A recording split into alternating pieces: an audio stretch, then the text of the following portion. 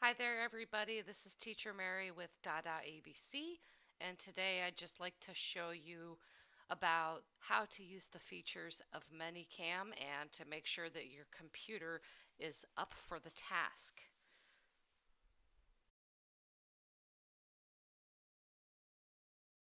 Okay, so about your system. I've found that ManyCam is really kind of heavy duty on your video graphics processing. So most PCs these days, most laptops have kind of a mid-range graphics card. And I used to use ManyCam on my HP laptop, and that had an Intel 520 graphics card. That was okay. Um, but I did notice that from time to time uh, that ManyCam would be lagging, especially if I had too many things going on at the same time. So if you're not sure about um, the quality of your graphics card, or it's just kind of mid-range, then I would definitely try not to have too many things going on in this right hand area. And I wouldn't use too many of these special effects. I would only apply one of them at a time. I think one time I had like three different things on the screen and then ManyCam just crashed. Now, I did, um, after several months, I upgraded my PC. Now I've got um, kind of like a gaming PC that has um, an NVIDIA GeForce graphics card. The PC itself has 16 gigabytes of RAM and an i7 processor. So since I did that, I've had absolutely no problems and everything runs smooth sailing with ManyCam. Um, I think especially since it's got that, that gaming graphics card. So if you've got um, kind of an older laptop with only like four gigabytes of RAM and one of the older Intel processors and and a rinky-dinky video graphics card, a video cam, uh, I'm sorry, ManyCam might not even work for you. Um, I have a MacBook Pro, and even though it has 8 gigabytes of RAM and was a $1,500 computer, it doesn't have the best graphics processing, and I can barely use ManyCam on that computer. It just lags terribly. So make sure you check your settings, and um, I would recommend having at least 8 gigabytes of RAM on your computer and like The next thing I'd like to talk about is setting up your audio. Audio can be one of the trickiest, most difficult things about using ManyCam. Making sure that you can be heard is probably the most important and it takes the most amount of care. Um, so the first thing I'll do is go down here to my computer's um, little icon of a microphone. Right click on it and choose recording devices.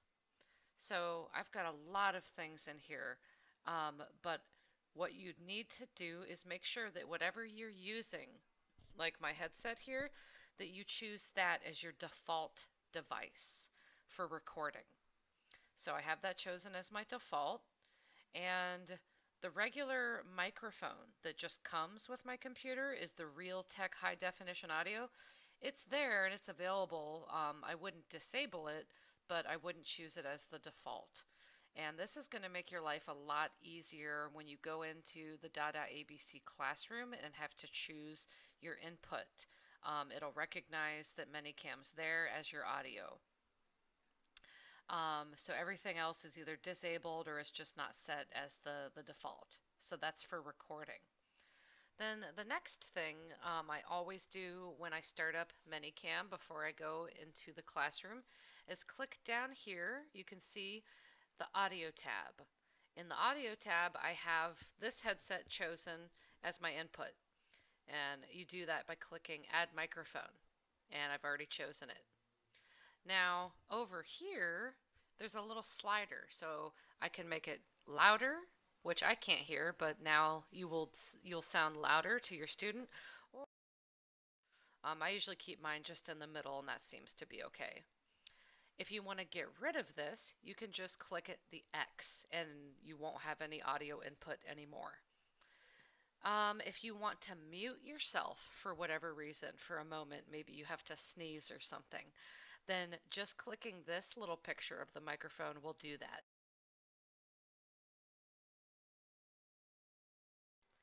And now you can hear me. Okay, um, so that's the audio selection um, from the the list down here of all these tabs at the bottom.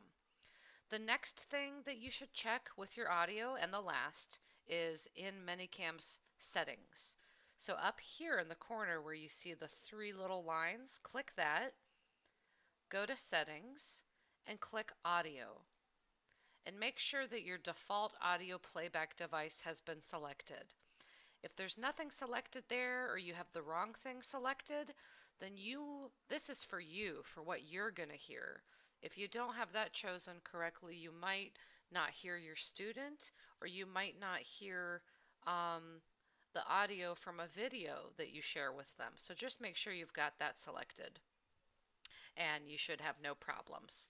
So the checklist that I kind of go through before I start up um, with a ManyCam before I teach is I make sure that in my PC's audio settings that that's okay. That I have my mic as the default input. That's the first thing I check. The second thing is the ManyCam audio, oops, ManyCam audio tab. And that's the one at the bottom of the screen and I make sure I've chosen my microphone input there and that it's not muted. The third thing I check is ManyCam audio settings where you saw those those three lines and I make sure the default playback device is also chosen as my microphone. Um, one more thing that I'll say about the audio is try not to have more than one thing at the same time down here in this tab. Uh, one time I added my system sound because I wanted the student to hear the sound coming from my computer. It made my voice sound like an echo then, and the audio of the video sounded like an echo. So don't have those chosen at the same time. Um, if you're playing a video for them, you don't need to worry about choosing system sound or worrying whether or not they'll hear that audio because ManyCam knows when you're playing a video, it's playing the whole file. And in a video file, video and audio are already embedded, so you don't need to worry about choosing anything else for audio settings for playing that. The last thing I'll talk about with the audio is that you can load up a playlist. As you see over here in the bottom right hand corner, there is an audio playlist area. So you can click these three lines there and add something. So add a file. So I've downloaded some of the audio from 1A Longman Express. So let's say we want to hear um, Gary's Adventure. So double click it there. It pulls it in and then double click it here. And now the student read and discover comics.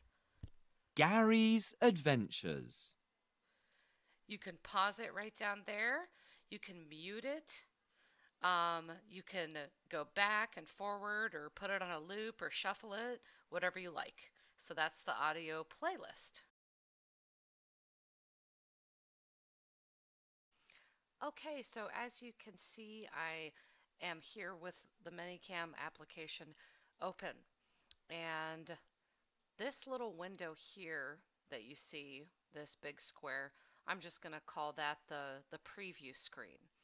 So to set up your video, you need to just click in this screen anywhere and do a right click and go to the first option that says cameras. Now for me, I'm going to choose my Logitech HD Pro webcam. Or for you, you can use your computer's internal camera. My internal camera is the the Bison cam, but I don't really like to use that one because it doesn't look as good. I've got an external USB camera. So you select that and then you've got your video input. Now if I want to turn my video input off, I can go to this playlist area and you can see down here in the left hand corner that my input is here in this square. If I click this little X right there, it'll get rid of it. Now you can see there is no input. So again, just right click, go to your cameras, choose your camera, and there you are. Okay, so after you've chosen your video input, just to show yourself, um, you can play around with how to change your video input and transition between inputs. So right now I've just got it um, using my web camera so the student can see me. And if I want to go somewhere else, you can see over here on the right side of the screen, there are all these grayed out um, rectangles. So um, one of my most commonly used other video inputs is just a, a blue screen. So right here, now we just have a chunk of blue and that's what the student will see. And the way that you can choose this is by right clicking inside one of these boxes and go to blank image. And then you can choose any color you like. You can make it purple or teal or white even. For me, I usually like to keep it um, with aqua so that there's some kind of contrast in the background. And then if I want to go back to me so the student can see me again, I just hover over the video input source that has me and click transition. So now it transitions back to me. Now, if you want, you can choose different transitions. Um, the difference between trends for transition and cut is this is just going to be like a quick cut. It goes right over to that other input and then cuts back to you. But if you want it to be a little bit um, more thematic or cinematic, you can use the transition. So again, you would just right click in that square, choose transition, and you've got all these transitions to choose from like pop-up center, and then it gives you a little preview of what that looks like. And just to let you know, the speed, I would keep it at about one and a half seconds. I found that when my speed was at half a second, the transition was so fast it was not even noticeable. Um, and one second was still kind of, I barely caught it. So I'd keep it at about one and a half seconds, maybe even two seconds. So let's see what that looks like now. Now that's definitely noticeable. and a little bit more fun.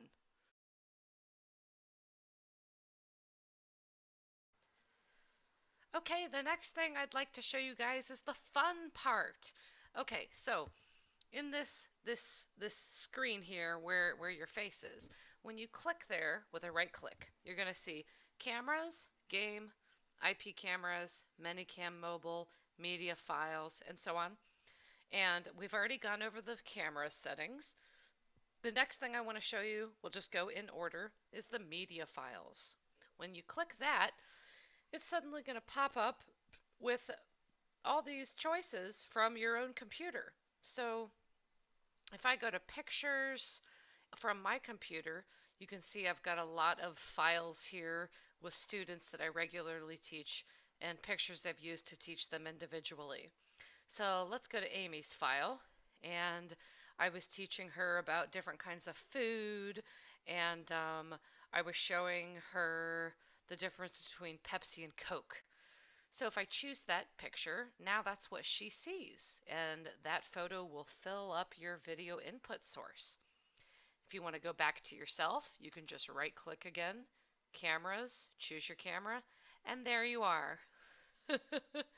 now, for the same area for media files, you can also play a video.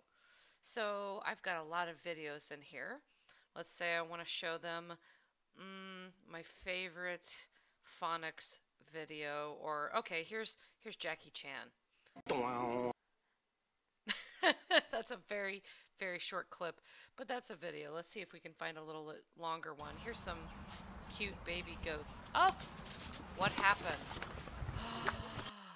Actually, I'm really happy that happened. This is a teaching moment. Not all videos work in Manycam. Here's why. It's all about pixel dimensions. Manycam is slightly finicky when it comes to the pixel dimensions of your video.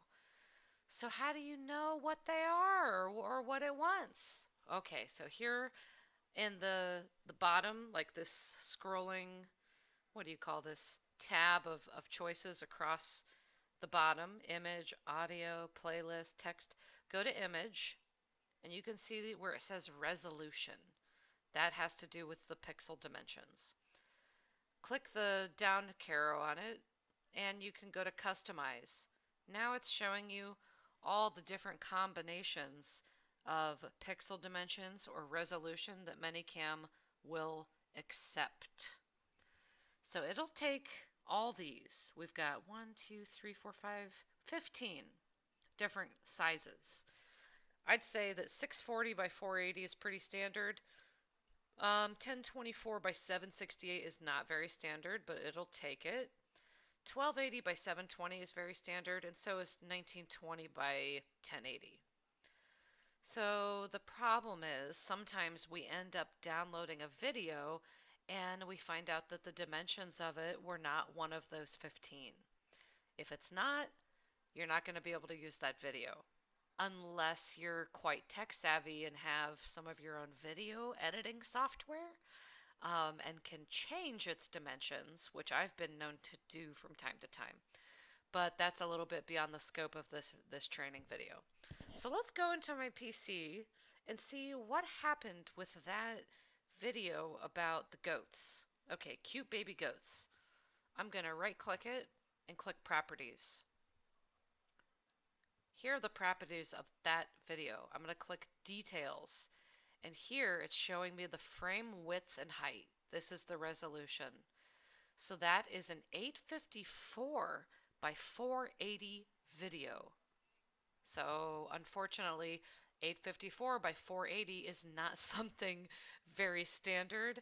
ManyCam does not support that, and so that's why you saw that happen when I tried to play that video, and it just looked crazy.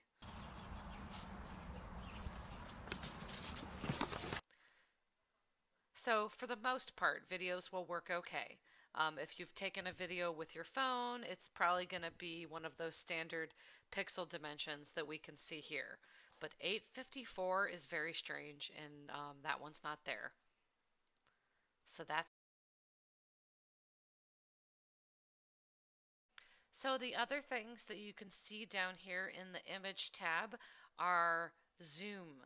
Zoom is one of my favorites. You can see it's right here. I usually like to just drag the slider and go woo, woo. This can be very useful for teaching pronunciation.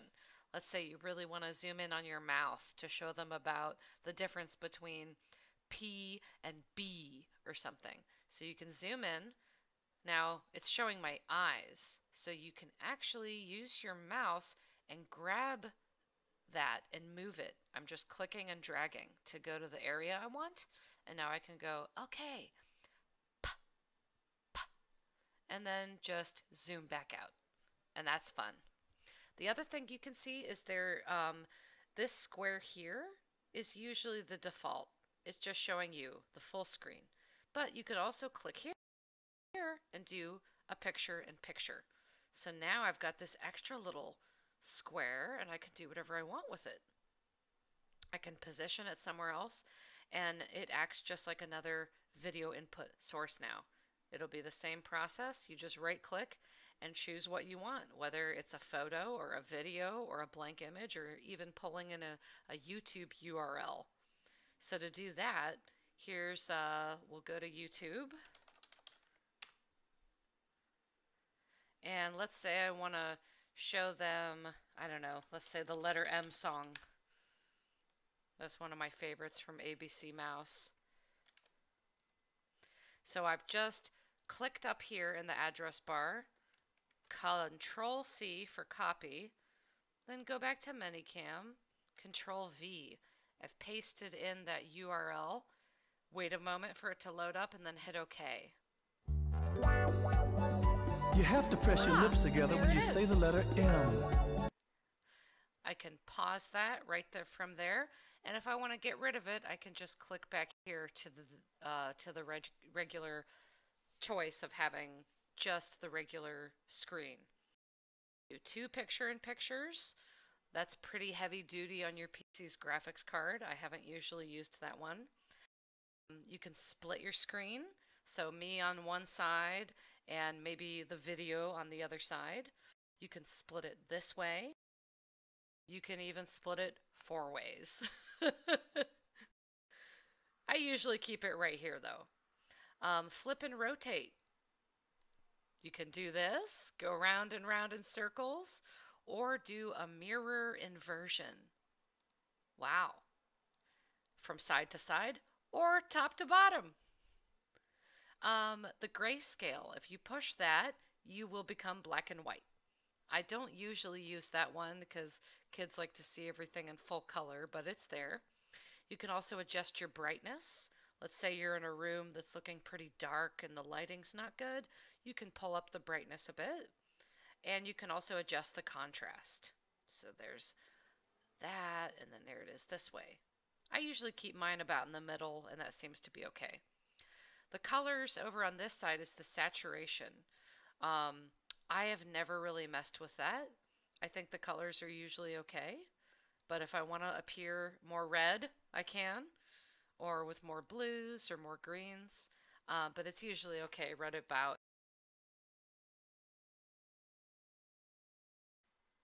The next tab I'm going to talk about is the playlist tab.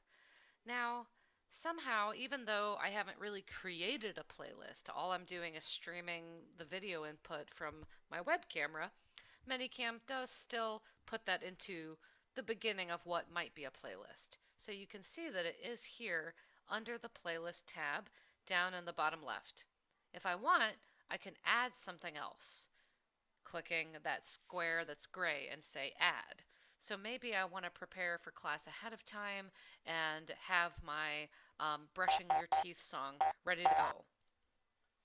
So what you can do is start off teaching and saying hello, and then you might want to go ahead and transition to that video. So you would click it there, and then there it is. And then you can go back to yourself. Um, to be honest, I don't usually use this playlist tab because I find the same functionality up here in these squares. That's where I usually hold everything. Um, and it just gives me one extra thing to think about usually, the playlist. Um, also, if you want to adjust the volume of yourself, you'll find that in playlist also. Here's the volume slider in the bottom right. So now I will appear or I will sound very loud to the student or very quiet. Okay, and you can mute that. And those same functions are also under the audio tab um, next to your microphone. But let's say you might be playing a video. Okay, so I'll go ahead and pull in a video from media files. And if I want to make that video's audio quieter, this will do that too.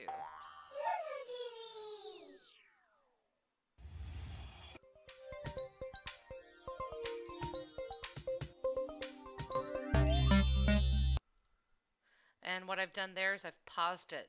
You can pause it by hitting pause right in this area. And I think pause is also in the middle of the screen, right here. So there's pause and play in the middle for ease of access.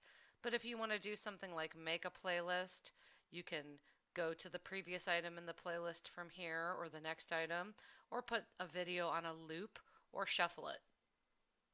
And then you can just click in the middle, go back to your web camera.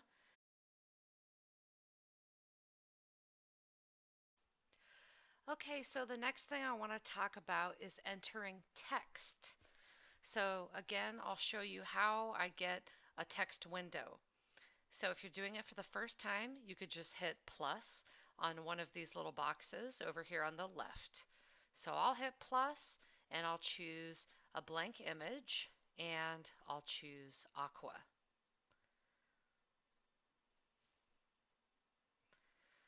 So now I've got an aqua screen over here. I'll transition to it. But what I have right now is just an aqua screen with nothing on it. And if I start typing text, we can't see anything yet because I haven't defined a text area. So well, first thing you want to do is click this text tab at the bottom of the screen and then sli slide over this radio button to enable text. Then you're going to click in this box that says input text here. Click there and start typing.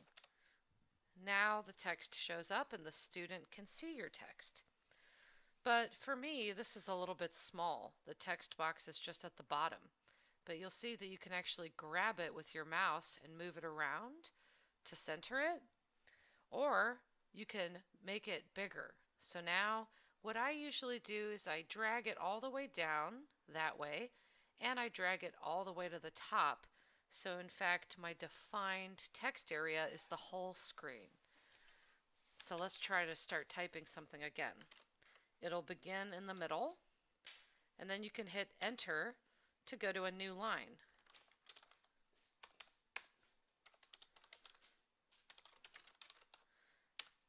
And you can enter as many lines as will fit. If I want to change the size of my text, you would just highlight it first. I just highlighted it down here. And then click the box that has the letter A in it for font. As soon as I click that, I can choose whatever font I like. There are many fonts in here. You can make it normal or italic. And what I most often use is the size. So if I want to make this text bigger, I can choose maybe size 28 hit OK, and now it's really big. We can also change the color. So you would just click that letter A box again, and the color is right here. So maybe I want my text to be green. And now it's green. The other thing you can do is change the opacity. So if you want it to be a little lighter and disappear or have it really bold. I usually use, or I usually keep my opacity all the way up so it's nice and clear and sharp. Um, there's also two effects, the strikeout, if you want to show um, maybe an incorrect sentence, and then there's an underlining effect. I usually keep my text as black on a blue background or the aqua background. There's one other choice that's over here, and it's scrolling. I usually have mine set to no scrolling, but if you want your text to be scrolling, you can choose that. You can even adjust the speed. There it goes really slow or really, really super fast. There's left to right, right to left, top to bottom, and you guessed it, bottom to top. So you might even be able to use that if you really want to play a game with them or show them a word really quick. And to get rid of my text, I usually just highlight all of it and then hit the backspace key and it disappears. So just make sure that enable text, this little radio button here, the green one, is on and then you can start typing whatever it is that you like. And then of course you can transition back to your The last thing I want to talk about is the drawing tab. So if you just click on draw down here at the bottom, you can see that there are all these colors that you can choose from to draw on the screen. Um, you want to make sure that the picture of the pencil is green, that that's enabled. That means you can draw. The second one is a little eraser. That's for erasing on the spot. And then the picture of the paint drop, I guess it is, will just fill your whole screen with whatever color you have chosen. So right now, let's say I choose this um, kind of pink color and then click in this area where my face is. Now it's all pink and I'm gone.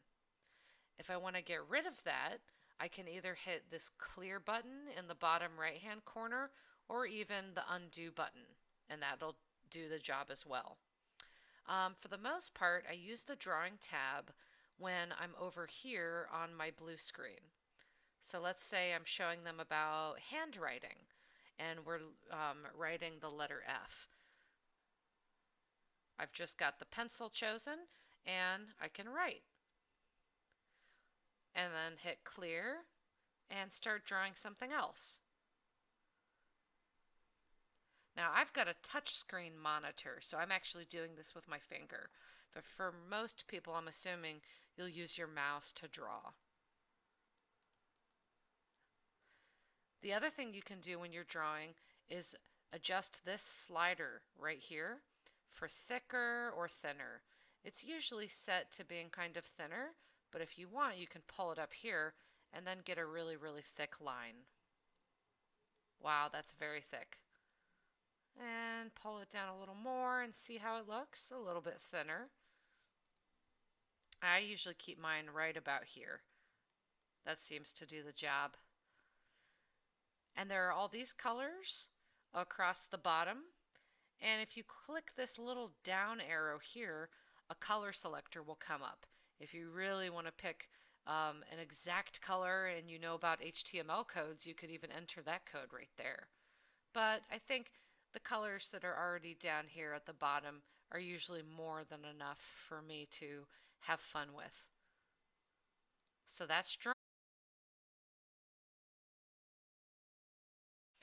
Now, um, the last thing for some of these other tabs that are down here, such as time, lower third, and chroma key, I'm not really going to go into those because a lot of these don't get unlocked unless you've upgraded to a more expensive version of ManyCam.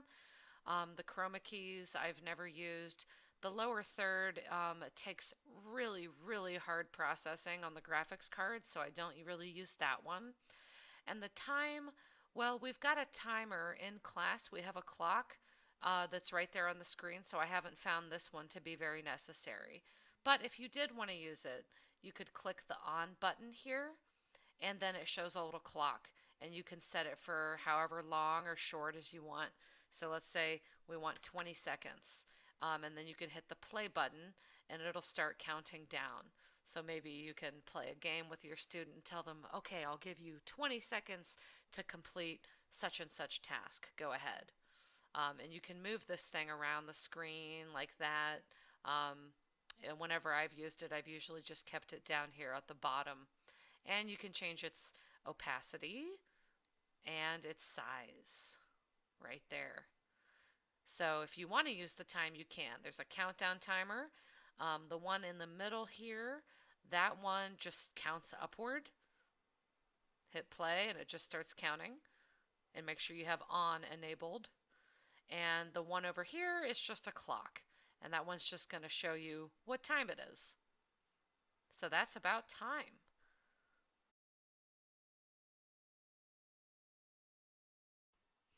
Okay, last but not least, and probably the favorite, is using some of these special effects. So up at the top screen here, you can see it says effects. You click the effects tab and it'll show you over here all the categories of effects that you can use. And what I use most often are the objects and the face accessories. So definitely take your time to explore these, click on them, see how they work. Um, so here's the little dog. You just have to click on it and it shows up. You can even move it around or put it back. And if you want to get rid of that little dog, you don't want it to be there anymore, then you can just click the little X next to his, his name over on the side where it says selected.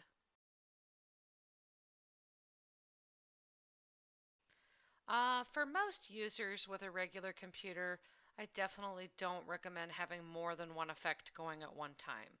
So let's say I have Pikachu on right now, and then I decide I want to put the sun on there. Now I've got two effects going at the same time, and they're both animated.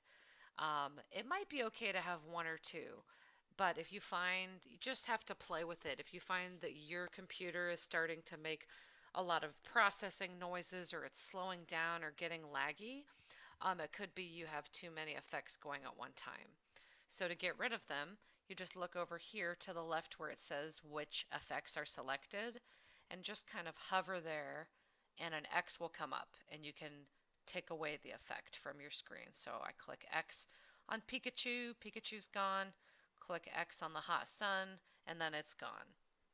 If you click X in here, for example, here's the sun. If I click the X next to that one, it'll delete that from my album of effects. So you would click delete if you want to get rid of it altogether. But I'm not going to do that right now. Um, if you want to look back at the categories of effects, you just click this little back button here. Right now I'm looking at objects. Now I can look at face accessories when I click on that. So you just click it once and suddenly I have an owl face. Then turn off the owl and maybe put some bugs on my face. That one's really gross. uh, one of my favorites is the cat mask. Meow, meow, meow, meow. And there are so, so many. As a default, Manycam only comes with a certain number of these special effects, but you can download more from their website. So to download these effects from their website, just go to Manycam. I usually type Manycam effects into my browser tab and then click on the first result and Windows. Uh, you can choose OS X if you're using a Mac, but there aren't nearly as many. And so let's say I'm thinking of a certain effect that I want to use, like I'm teaching a class and I know we're going to talk about giraffes. So I can type in giraffe and see if they have something. Oh, look at that, they do. So then, let's say I want to choose this bashful little giraffe. Click download. It'll prompt me where I want to download this effect. I have a folder I created on my computer in PC downloads called Manycam Effects. And you can see this is where I have all my effects files. Um, this is called a .mce file. So just hit save.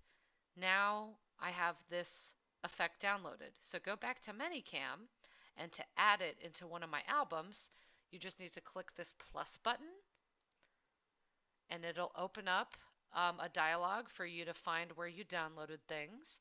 Mine automatically goes here because I've I've been in this file so many times already.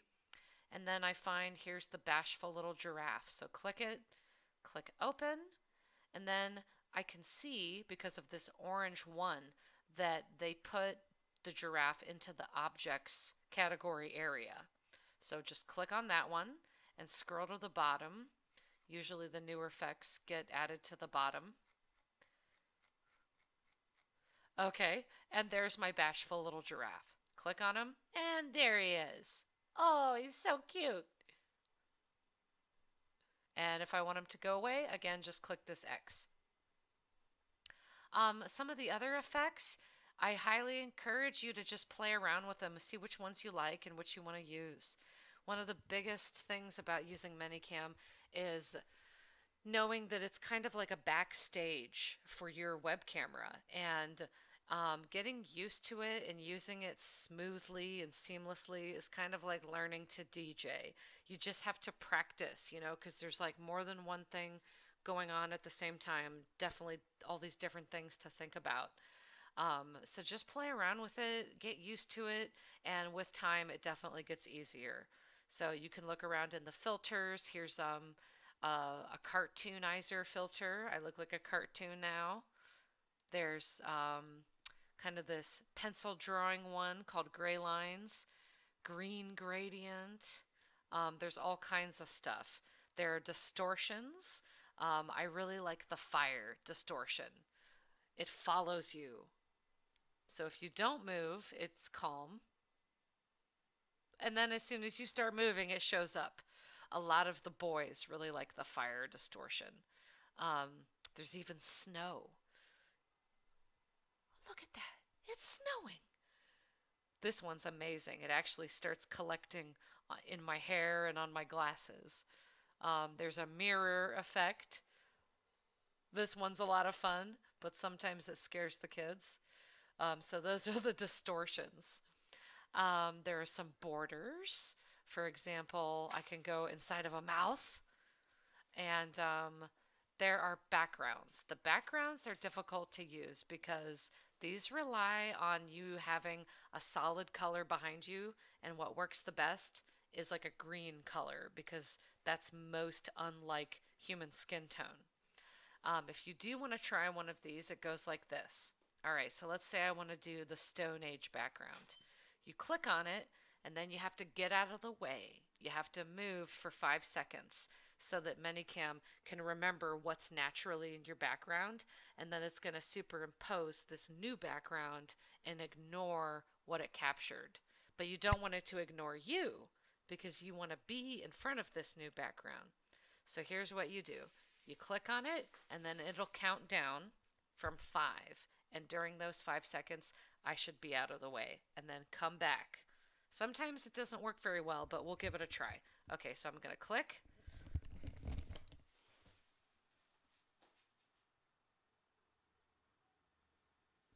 Okay, there's the background. Now I'm coming back in slowly, slowly. And sometimes some backgrounds look better than others. This one is still showing my red screen behind me. Um, if I had a green background or perfect lighting, then this would look even better. But it, it works somewhat. Okay, so yeah, I highly encourage you to just play a lot, play around, sorry, with these effects and see which ones you like to use. And um, it always makes class a lot more fun. So I wish the best of luck to you all in using ManyCam. And if you have any questions, just reach out to the ManyCam website or to Dada ABC. And um, there's a lot of help, a lot of technical support that's out there for it. And uh, it just is a matter of getting used to it and using it on a regular basis.